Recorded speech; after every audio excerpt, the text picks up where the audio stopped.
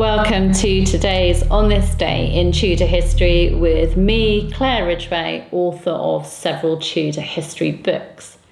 Now, I'm going to take you back to the reign of Queen Elizabeth I today. For on this day in Tudor history, the 29th of September 1564, Michaelmas, or the Feast of St Michael and All Angels, the Queen's favourite, Robert Dudley, son of the late John Dudley, Duke of Northumberland, was made Earl of Leicester and Baron Denbigh. Now, this earldom was no surprise. It had been planned earlier in the year to make Dudley more acceptable as a potential bridegroom for Mary, Queen of Scots.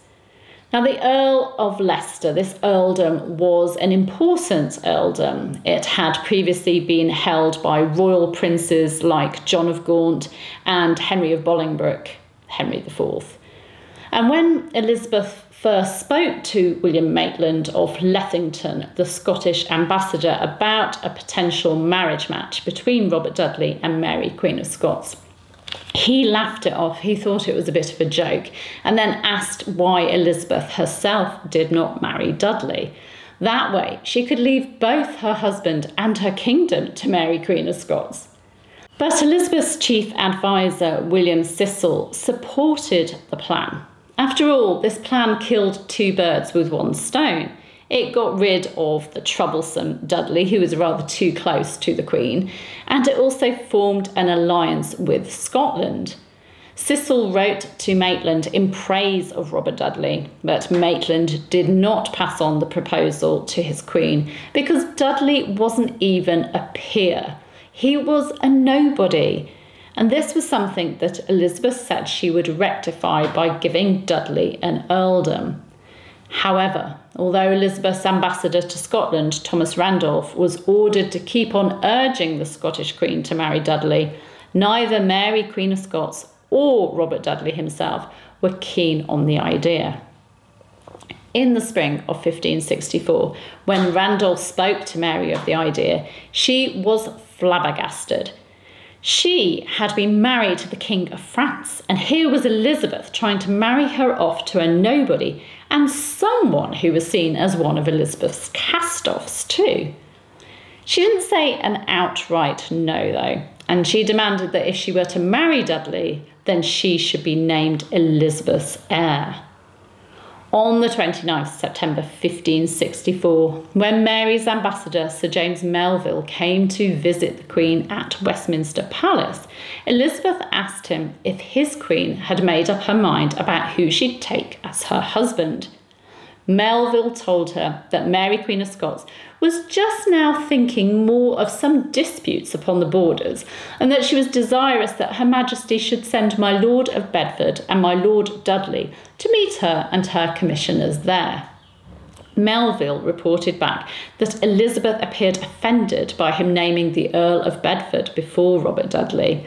And he went on to say how she informed him, But ere it were long, she would make him a greater earl, and I should seen it done before me, for she esteemed him as one whom she should have married herself, if she'd ever been minded to take a husband.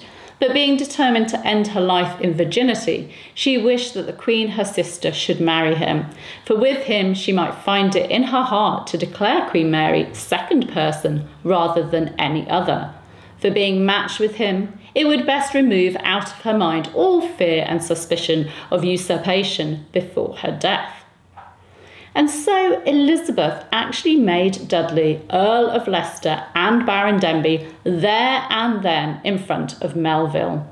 He wrote, This was done with great state at Westminster, herself helping to put on his robes, he sitting on his knees before her, and keeping a great gravity and discreet behaviour. But as for the Queen, she could not refrain from putting her hand in his neck to kittle him smilingly, the French ambassador and I standing beside her. Interestingly, Melville goes, goes on to say that Elizabeth then asked him what he thought of Dudley. Melville told her that he was a worthy subject but then Elizabeth directed his attention to Henry Stuart Lord Darnley, son of her cousin Margaret Douglas, and a man who bore the sword before her that day, commenting, Ye like better of yon, long lad. That's hard to say. Melville replied that no woman of spirit would make choice of such a man that was like a woman than a man, for he was lusty, beardless, and lady faced.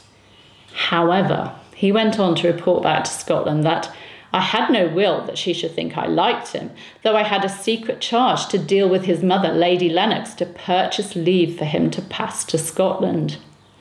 It seems that Elizabeth I had got wind of Melville's secret charge, and that's why she mentioned Darnley. In February 1565, Darnley did indeed travel to Scotland to present himself to Mary, Queen of Scots, and on the 29th of July 1565, he married her. Dudley would not be Mary's husband. Now, it's hard to know how serious Elizabeth had been in her offer of Dudley to her nemesis, Mary, Queen of Scots. Was Elizabeth just playing a game? What I do love about Melville's account of this day in 1564 is Elizabeth tickling or kittling Dudley on his neck. It's not very queenly, is it? Was it simply a sign of affection? She just couldn't help herself from doing it. Or was she trying to reassure Dudley that she still loved him, even though she was talking about marrying him off to the Queen of Scots?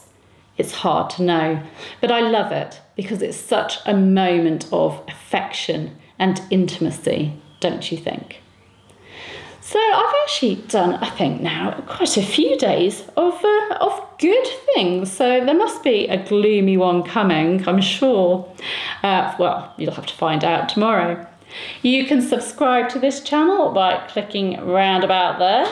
Uh, you can hit the bell to be notified as videos go live, but rest assured I'm here every day with Tudor tidbits for you, and you can, of course, like this video too. Thank you for watching. See you soon. Bye bye.